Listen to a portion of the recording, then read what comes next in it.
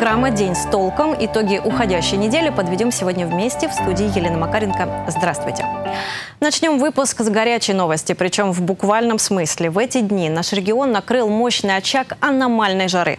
Местами в крае воздух прогреется до плюс 40 градусов. Сегодня в среднем около 32 выше 0. Но в ближайшие дни, до 14 июня включительно, температура может достигнуть плюс 37 и даже 40 градусов.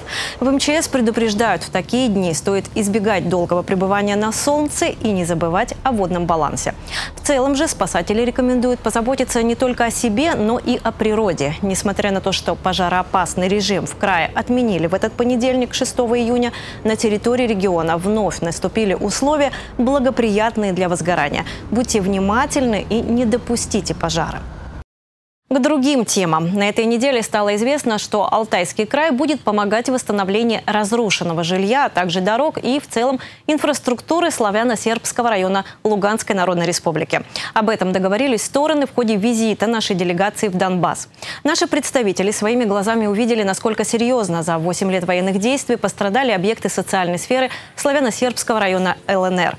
К слову, эта территория аграрная, богата полезными ископаемыми, и именно поэтому из Алтайского края края приехали заместители губернатора по сельскому хозяйству, промышленности и социальной сфере.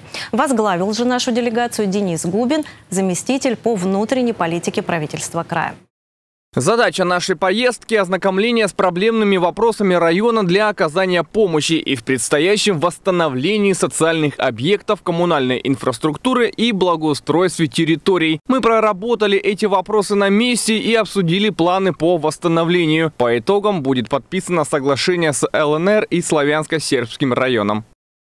А вот в Барнауле продолжаются работы по ремонту моста в районе Нового рынка. Путепровод разобрали уже больше, чем наполовину. Люди с нетерпением ждут завершения реконструкции путепровода и постепенно адаптируются к новым условиям передвижения по городу. Но вот массовую пересадку из личного авто в общественный транспорт, которому сейчас в Барнауле отдают приоритет, многие водители считают утопией. Причина – низкое качество пассажироперевозок. Эту проблему, а также перспективы сделать общественный транспорт полностью муниципальным обсудили на дискуссионном клубе «Точка зрения», который проходил в сибирской медиагруппе. Больше 10 лет за рулем, и только апокалипсис заставит меня пересесть на наш общественный транспорт. Есть большие вопросы качества этого транспорта, качества самих э, автобусов. А, автобусы пыльные, грязные, вонючие.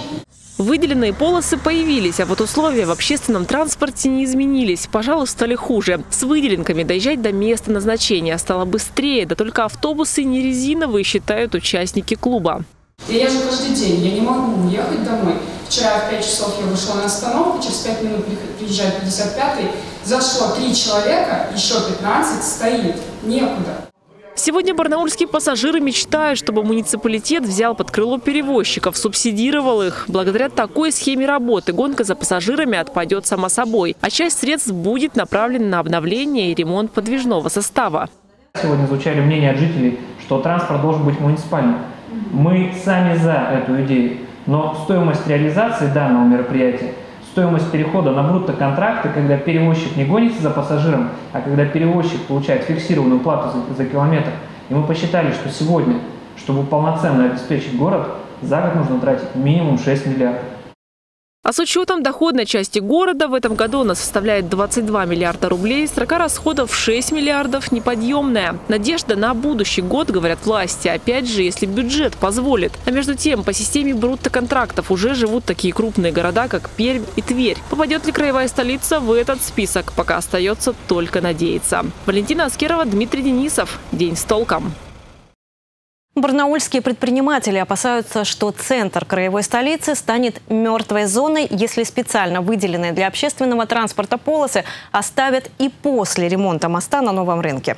Бизнес возмущен, что из-за выделенок люди не могут припарковать машины у кафе, аптек и других коммерческих учреждений. А между тем, один из экспертов на том же дискуссионном клубе заявил, что в будущем для краевой столицы неизбежно появятся платные парковки. Когда это случится и как эту идею идею восприняли автолюбители, расскажем далее. Барнаул, транспорт и масса дорожных проблем, которые горожане испытывают вот уже месяц с начала ремонта моста на новом рынке. Для повышения транспортной доступности власти краевой столицы первым делом решили внедрить выделенные полосы. Неудобные для машин, но комфортные для общественного транспорта. А вот дальше, говорят эксперты, не обойтись без платных парковок. Следующий шаг, знаете какой? Платная парковка в центре города. Как бы мы к ней не относились. В чем там зазорного? Доехал на общественном транспорте, уехал, он должен быть комфортный, да? Вот комфортность общественного транспорта, она хромает, но она будет решаться в перспективе. Я считаю, что это с введением платных парковок по городу, и эта тема давно уже муссируется. Я думаю, рано или поздно город к ней придет. По мнению экспертов, платная парковка решит ряд вопросов. Во-первых, движение по выделенным полосам для общественного транспорта будет свободным. Как показывает практика, автолюбители паркуются каким удобно, несмотря на знаки. Во-вторых, разгрузит третью полосу движения по Ленина в сторону речного вокзала, где сейчас паркуются водители. Однако нововведение не одобряет большинство автолюбителей. Да против бы, конечно. Почему? За что платные парковки-то делать? Почему? Как бы все спокойно ездят, как бы все замечательно. Я не вижу этого смысла. Так можешь вообще тогда сделать везде платно. Смотря сколько стоить будет. Да проще оставить так, как есть. Отрицательно. В принципе, если другой ситуации нет, то, конечно, тут уже вынужденная мера. Наверное, против. Почему? Всегда бесплатно было. Против платных парковок высказались и подписчики телеграм-канала сайта Толк. По результатам опроса 48% голосующих не поддержали идею, 22% отнеслись положительно, 10% параллельно, они ездят исключительно на автобусах, и 8% совсем без разницы. Другой момент. Для создания платных парковок еще нужно учесть немало важных моментов. Скажем, надо подходить к этому с умом, потому что есть определенные требования к платным парковкам, э, что необходимо, допустим, решать проблемы с парковкой во дворах прилегающих, то есть это надо шлагбаумы делать. Э, Во-вторых, надо делать только в тех местах, где наблюдаются проблемы. То есть либо это выделенные полосы, которых могут парковки мешать, либо это места, где паркуются в 2-3 ряда, Пока идея с платными парковками на уровне обсуждений, но как показывает практика с выделенными полосами, предложение может стать реальностью. Вопрос, правда, во времени. Создать платные места под авто в ближайшей перспективе явно будет непросто. Дмитрий Дроздов, Алексей Фризин. День с толком. На этой неделе в крае отменили сразу несколько мер, которые были приняты в разгар эпидемии коронавируса. Так разрешили не носить маски. При этом региональный Роспотребнадзор людям старше 60 лет и тем, кто имеет хронические заболевания, рекомендует все же надевать маски в общественных местах. И подчеркнем, главный эпидемиолог края Ирина Переладова уже в середине июня прогнозирует шестую волну коронавируса и напоминает о том, что осенью традиционно случается всплеск заболеваний. И в общем специалисты призывают совсем уж не отказываться от ношения масок. А вот власти края, помимо приостановки масочного режима, еще и отменили ежедневную публикацию ковидной сводки. Она включала в себя число заболевших и умерших от вируса, а также тех, кто лежит в больницах, в том числе под аппаратами ИВЛ. Теперь же за подобной информацией интересующимся предлагают обращаться в соответствующие ведомства. И еще одно послабление уже международного масштаба приняли на неделе. Проезд в Казахстан стал проще. Теперь при пересечении границы не требуется обязательный ПЦР-тест на коронавирус или подтверждение вакцинации. Кроме того, на отдельных участках границы возобновили работу 12 автомобильных пунктов пропуска. Такое решение при- приняли с учетом стабилизации эпидемиологической ситуации в странах. Напомним, закрылись границы между государствами в марте 2020 из-за распространения коронавируса. В течение двух с лишним лет попасть в соседнюю республику могли только родственники граждан Казахстана или те, у кого есть вид на жительство. Сейчас все ограничения сняты. На этой неделе в Барнауле собрались ведущие урологи страны. Во время Академии мужского здоровья они подняли вопросы детской и взрослой урологии. С одним из московских специалистов от Российского научного центра удалось пообщаться нашей съемочной группе. Она также побывала на операции, которую наши врачи провели совместно со столичными коллегами. Количество врожденных аномалий увеличивается, увеличивается и боюсь, к сожалению, что будет увеличиваться. Именно касаясь аномалий мужской половой, половых, мужских половых органов. И это прослеживается в количестве операций, выполненных у детей. И, соответственно, это э, ведет к тому, а, приводит к необходимости передачи этих больных в правильные руки, а именно специалистам, урологам, андрологам взрослой сети. Конференция, она преследует вот именно то, чтобы э, сегодня на территории Алтайского края сформировать вот такую преемственность и развитие системы мужского здоровья на всех этапах взросления мальчика и перехода во взрослое состояние. Вчера мы были на в, де, в детской краевой больнице. Вот, и хочу сказать, прям поклониться в ноги главному врачу этой больницы.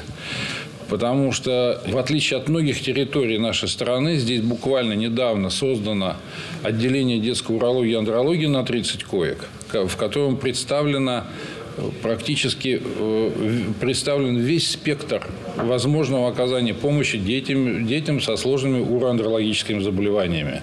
Поэтому я просто хочу поздравить весь народ большого края что у вас есть такая возможность обращаться именно к вашим специалистам, которые ничуть не хуже, чем э, специалисты из других регионов. На днях все российские вузы исключили из баллонской системы образования.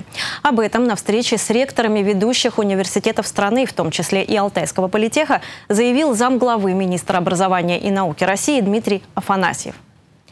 Так что же ждет сегодняшних абитуриентов и студентов, которые собирались в магистратуру, и, кстати, школьников? Ведь ЕГЭ – это тоже Болонская система. Об этом моя коллега Анастасия Наборщикова накануне поговорила с ректором технического университета и председателем Совета ректоров Андреем Михайловичем Марковым. На встрече с ректорами был сам министр науки и высшего образования Валерий Николаевич угу. Фальков, и именно его обращение мы слушали, и его заявление мы обсуждали. Но могу сказать следующее, что вот таких каких-то глобальных изменений в системе высшего образования не произойдет. Почему? Потому что тот э, замечательный опыт, который был накоплен за эти 20 лет, а даже больше, потому что в 96 году в России был принят закон, э, по которому уже появилась есть двухуровневое образование, бакалавриат а, и магистратура. И надо сказать, что первых бакалавров Алтайский государственный технический университет выпустил в 1998 году, а в 2000 вышли первые магистры. Поэтому мы достаточно давно работаем в этой системе. А, что же сказал министр? Значит, основное заключается в том, что нужно из, из советской системы, из российской системы взять самое лучшее и построить, ну, переформатировать существующую систему. Ни в коем случае не идет идет речь полностью от отказа от бакалавриата, от магистратуры. Э, речь идет о том, чтобы по ряду направлений, особенно связанных таких наукоемких направлений, технических направлений, инженерных направлений, увеличить больше количество э, специалитета. Мы достаточно много об этом говорили, что бакалавриата для технических направлений ну, просто-напросто недостаточно. А недостаточно даже и пяти лет. Поэтому вполне возможно появится такая новая форма, это продвинутый такой специалитет, специалитет плюс годичная магистратура, может быть, двухгодичная магистратура. А, значит, председатель а, Сове... Союза ректоров угу. Садовничий э, Виктор Антонович э, ну, высказал такое мнение, что будет два бакалавриата, обычный, э, ну не обычный, а прикладной и академический, магистратура технологическая и научная, а специалитет, останется аспирантура. То есть вот сказать, что выйдя из какой-то баллонской системы мы полностью отказались от того, что было, это будет неправильно. Все-таки останется и бакалавриат, и магистратура, и расширится количество специалитета по ряду направлений. Будет вот так, я думаю. Я студентка четвертого курса журфак, угу. и сейчас знаю, что мои однокурсники некоторые планировали поступать в магистратуру, как и я. Но если я хочу остаться, например, в России, кто-то собирается за рубеж. Могут ли они планировать такие планы? Планировать, конечно, они могут, магистратура никуда не девается. Зарубежная? Ну, сейчас про зарубежную отдельно. Вот смотрите, значит, на 22 год, на 23 год контрольные цифры приема уже определены. Их никто отменять не будет, эти контрольные цифры приема. Состоялся конкурс, места разыграны, это государственная комиссия была, и теперь никто их не отменит. Поэтому сколько у нас было определено мест в магистратуру, столько их и будет. Сколько было у нас определено мест в бакалавриат, столько и будет. И та же самое в других вузах. Мы не вольны сами устанавливать себе а, количество бюджетных мест. А вне бюджетных мест, ну, там по, по определенным правилам мы устанавливаем. Теперь, что касается магистратуры. Отечественную магистратуру, конечно, вы можете поступать в любой вуз. Хорошая Более того, новость. да, хорошая новость. Более того, министр об этом подчеркивал, что есть некоторое несоответствие сейчас в чем? Например, а, человек закончил магистратуру, вернее, бакалавриат, ну, допустим, по журналистике, а пошел в магистратуру на юриспруденцию, сдав экзамены и так далее. Ну, вот к этому хотят поставить некий барьер, чтобы все-таки именно продолженность образования была. А, ну, если действительно, если человек... А мне кажется, это был плюс этой системы, потому что я бы, Ну, например, вот- хотела рассматривать педагогику. Почему Вот нет? Смотрите, здесь надо тоже понимать, а, скажем, человек 4 года учился на э, юриспруденции, да, выучил все, все законы, все римское право и все, что положено.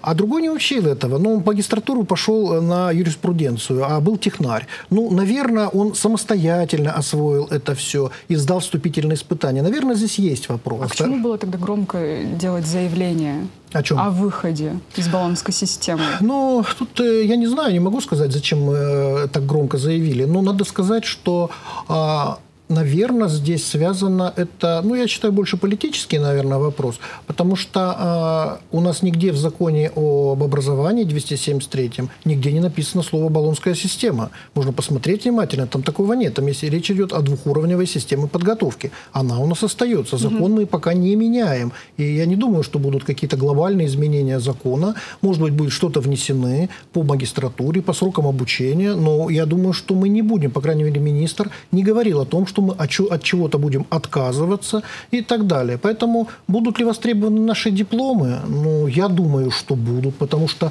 объем знаний мы даем очень неплохой. Я знаком с системой образования зарубежных стран. Э, У нас достаточно много было контактов а, с нашими зарубежными партнерами. Это и э, страны Европы, это и Азии. И я могу сказать, что мы даем образование на достаточно а, хорошем уровне. И дело принимать кого-то на обучение или нет, это дело уже самого университета. Что будет э, с ЕГЭ, как думаете? Ведь тоже же система Болонская. Ну, ЕГЭ, тут, наверное, э, на меня будут э, ворчать и ругаться, но я-то как раз сторонник ЕГЭ. А, По той простой причине, что другое дело, что как организовать контроль а, прохождения ЕГЭ, ну, я думаю, что он нормально организован. А нужно ли его, ну, скажем так, э, менять задания? Ну, наверное, нужно. Может быть, смотреть эти задания надо, периодически там проводить оценку этих заданий. А Сказать там, ну, такая любимая фраза «жертва ЕГЭ», ну, в Советском Союзе после, после образования тоже были жертвы то- того образования. Э, Из той системы образования не все грамотными выходили, всякие были. Также и здесь, э, кто как относится. Давайте подведем итог. Когда нам ждать первых изменений? Год-два? А, Я думаю, год-два. Потому что, смотрите, ну, в этот год, вот сейчас приемная кампания, она будет а, играть по тем правилам, которые установлены. Так, следующая приемная кампания, скорее всего, потому что контрольные цифры приема мы точно знаем на 23 год, они нам точно определены, уже конкурс состоялся, мы знаем, мы планируем свою работу. Значит, 23 год тоже нет. А, ну, либо какие-то изменения сделают, если какое-то постановление правительства будет, изменения по структуре контрольных цифр приема, ну, не знаю, сомневаюсь. Значит, 24 Из барнаульского полигона еще можно выжать последние соки. Ранее считалось, что его вместимость будет исчерпана уже к 2023 году. Однако накануне стало известно, что фактическая площадь полигона позволяет производить захоронение мусора аж до 2034 года. Моя коллега Ирина Корчагина расскажет подробнее, как в Алтайском крае в ближайшие годы будут решать проблемы с отходами и где в регионе могут появиться заводы по переработке мусора. Пока в это сложно поверить, но уже через каких-то 8 лет, к 2030 году, согласно нацпроекту «Экология», 100% твердых коммунальных отходов должны сортироваться перед утилизацией. А на переработку будут отправлять более трети всего бытового мусора. Вопрос обращения с отходами стал ключевым на последнем заседании Общественной палаты Алтайского края. И он нуждается в реформе. Цель, цель во всей этой тематике – это э, организовать раздельный сбор. Ну, то есть это ну, самый, так скажем, оптимальный и э, дешевый путь, ну, так скажем, борьбы с отходами. Также вот мы мы уже предложили, и сегодня мы будем об этом говорить. Первое, что надо, как бы, э, в принципе, как бы в крае принять дорожную карту. Дорожная карта была разработана экспертами Общественной палаты края. Ее суть в том, чтобы сделать отрасль более прозрачной, ведь она будет отражать всех участников цикла, от собственников отходов до полигона. Первое, надо создать условия, чтобы были те площадки, где будут принимать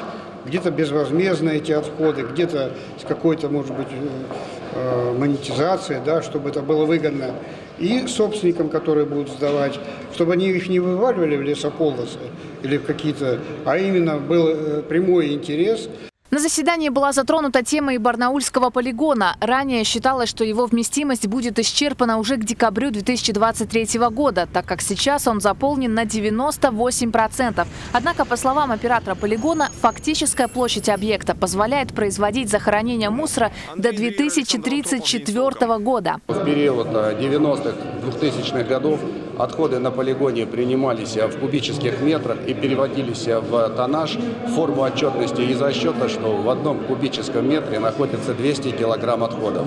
Фактически а, установленное весовое хозяйство 2018 года позволило нам сделать выводы о том, что в одном кубическом метре находится от 80 до 110 а, килограмм отходов.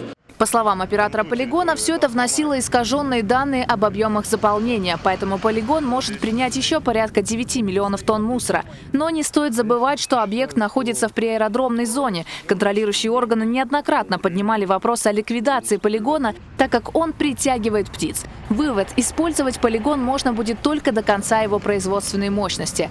Также на заседании обсудили далеко идущие планы. К 2030 году в крае появится сразу пять комплексов по сортировке и переработке отходов. В Алейске, Бийске, Заринске, Славгороде, а также в Павловске. Эти предприятия будут принимать около 600 тысяч тонн отходов ежегодно. Самый первый проект планируют реализовать уже в ближайшем будущем в Павловске к 2024 году. Ирина Корчагина, Алексей Фризин. День с толком.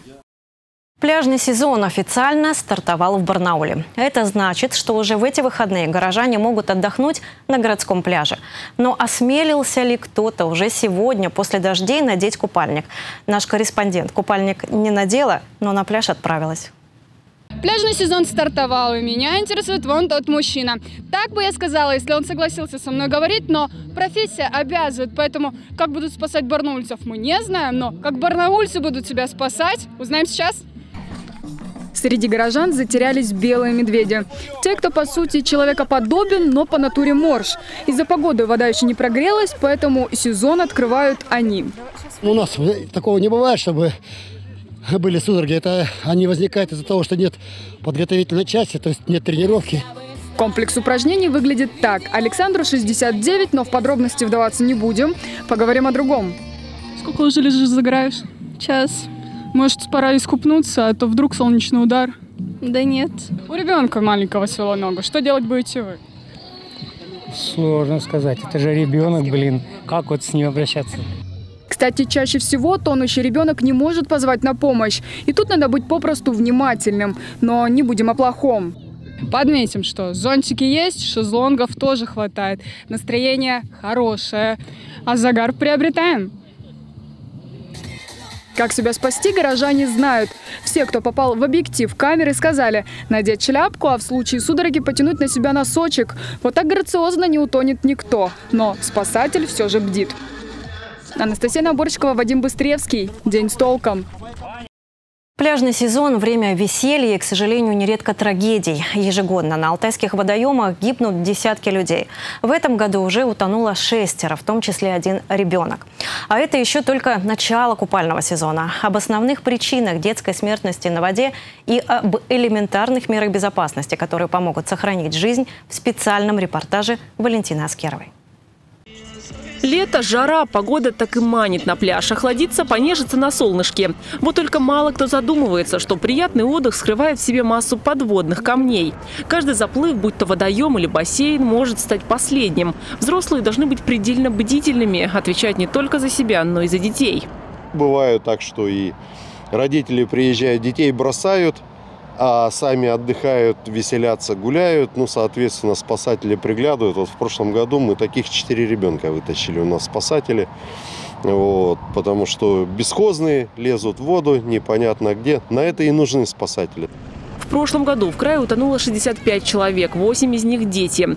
Большинство трагедий случилось летом. По словам спасателей, чаще всего гибнут на диких пляжах, где нет ни спасателей, ни уверенности, что дно реки безопасно. Главный фактор, приводящий к гибели детей на водоемах, это отсутствие должного контроля со стороны взрослых. То есть почти всегда э, ребенок оставался в опасности без должного надзора, либо дети в одиночку пошли куда-то там купаться на какую-нибудь речку, либо взрослые просто отвлеклись на какое-то время. Для предупреждения трагедий на воде в министерстве разработали специальное приложение инструкцию для спасения утопающих. В текстовом и аудиоформате объясняют, как можно спасти жизнь в случае беды. Нужно скачать приложение МЧС России. Здесь подробно описано, что нужно делать, если вы видите тонущего человека и какую помощь ему следует оказать, если его вытащили из воды и он находится без сознания. Прежде всего, говорится в памятке, нужно бросить тонущему человеку надувной круг или матрас. Если такого арсенала под рукой нет, то рекомендуется поднырнуть под тонущего, обхватить его сзади и вытащить на берег. Если пострадавший нахлебался воды и находится без сознания, начать сердечно-легочную реанимацию. Обучение навыкам реанимации относится к вопросам общественного здоровья. И на постоянной основе данную работу проводит Алтайский центр профилактики общественного здоровья. Центр готов сотрудничать со всеми муниципальными образованиями, и одной из форм может быть организация на ваших социокультурных мероприятиях в летний период уголков по обучению сердечно-легочной реанимации. Существуют даже специальные правила поведения детей на воде, о которых стоит напомнить. Купаться только со взрослыми, не играть у обрыва реки, не заплывать глубоко, не нырять в незнакомых местах, с мостов и обрывов. Не заплывать за буки, не играть в воде, не плавать на бревнах. А в случае экстремальной ситуации звонить по номеру 112. Это остров Помаскин, официально единственный в Барнауле бесплатный городской пляж. Каждый год перед его открытием водолазы тщательно обследуют дно реки и выносят свой вердикт. Под водой там вроде никаких недочетов нету. Ни бревен, ни железа такого, чтобы опасно было для жизни. Как бы все хорошо. Детям порекомендуете здесь купаться? Детям, конечно, должны купаться везде, где разрешено в отведенных местах, буйки, если будут спасатели. Штат спасателей укомплектован, они прошли дополнительное обучение, все имеют допуск на оказание первой медицинской помощи. Там у нас будет 4 спасателя. Вот. Э, на самой акватории э, осуществлена установка буйков для э, именно детской зоны и взрослой зоны. За, соответственно, буйки заплывать нельзя. А 4 спасателя это в смену? Совершенно верно. Все, побежали, отлично! А это еще один барнаульский пляж «Водный мир». Ежедневно в купальный сезон его посещают сотни человек. На пляже есть отдельная детская зона от 70 до 130 сантиметров глубиной. Кстати, на водоем ребенку без сопровождения взрослого не попасть. Зачастую дети сбегают на дикие пляжи, рассказывают спасатели. А там стихия пощады не знает захлебнул водички, и все, и он уже не может с этим справиться. Паника начинается. Да, начинается паника, а для ребенка и 40 сантиметров, чтобы утонуть, этого вполне достаточно. Ни один утопающий не кричит, потому что его задача выжить, и рот закрывается автоматически сжимается, чтобы больше воды не хлебнуть. Чем больше он нахлебался воды, тем быстрее он уйдет на дно. Кстати, опасность несут не только открытые водоемы. Далеко ходить не надо. Меньше месяца назад в Кузбассе в каркасном бассейне утонул двухлетний ребенок из Алтайского края. Родители отвлеклись всего на пару минут. Любое соприкосновение ребенка с водой может нести а, риски гибели. И, естественно, такой большой объем воды, в котором а, ребенок, например, а, начальной школы или подросток будет неконтролируемо находиться, также может привести к трагическим последствиям. В нашем регионе за прошлый год зафиксировано два таких случая. Ну и не могу не сказать, конечно, об огородном сезоне. А дело в том, что если мы говорим о ребятишках раннего возраста, которым 1, 2, 3, 4 годика, они могут утонуть даже в любых емкостях на вашем приусадебном участке. Еще одна детская летняя забава – это фонтаны, которые иногда в городе все-таки включают. Купаться в них категорически запрещено. Здесь легко поскользнуться, удариться о металлические элементы и получить серьезную травму. Риск утонуть в фонтане, конечно, минимальный, но тоже есть. Спасатели, уполномоченные по правам ребенка, социальные службы, власти призывают родителей быть предельно внимательными к своим детям.